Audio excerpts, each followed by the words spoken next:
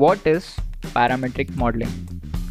Parametric modeling is dimension's capability to change the shape of model's geometry immediately when the dimension value is modified. Let's understand with an example. Let's take a cube with dimension length as 1000, breadth as 600 and thickness as 300. Now let's modify its dimension.